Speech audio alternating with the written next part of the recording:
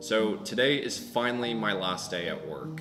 And while I was packing my very few things inside the box, I thought that I would be getting flooded with emotion, that I was going to feel so much excitement and joy and peace with the decision that I was making, and most importantly, fulfillment, that it was going to be a moment that I would never forget. I've worked at this company since I was 18. I had just graduated high school, and so now I'm 23 years old, and this has been a goal that I've had for probably more than 80% of the time that I was working there to quit my job and be able to have the resources to follow my dreams. So I'm doing it. And to be honest, I feel no different. If anything, I really just feel exhausted. I have neglected my mind, body, and spirit so much in this past month in preparation for today by doing my YouTube content, finishing school, and getting ready to quit my job that I wasn't enjoying the last few moments of any of those things. I was so focused on when I quit my job and I hit today, everything's going to take care of itself and everything's going to be fine.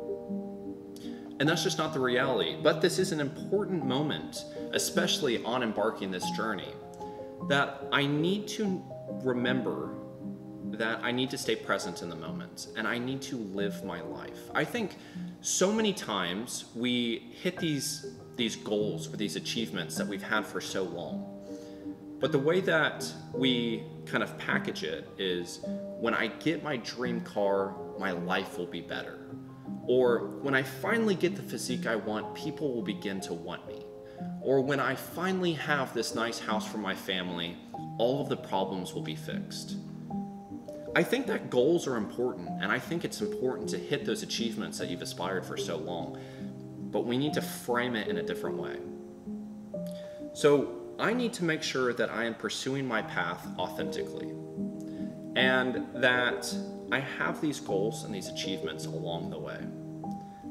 But the most important part, I think, when I reflect back at my life when I'm older, is it's not going to be the achievements that I hit. I think it's going to be those moments in between each step. Those small little moments each day where I see a woman at the local grocery store actually stop to smell some flowers that I didn't even notice were there or the power of being with a young little boy and watching him see birds and want to find it in a book. Those are important moments in my life that I need to cherish. And it's going to be great when these goals and passions that I've had for so long are going to come to fruition. But I need to remember these small little moments in my life. So, I just kind of want to reflect, you know, I think quitting your job is an exciting moment. And in ways, I am excited. But I'm also very underwhelmed. I want to go home and I want to sleep. And I want to just begin to rest and start to heal my body. So let's start focusing on the moment. Let's actually start living life.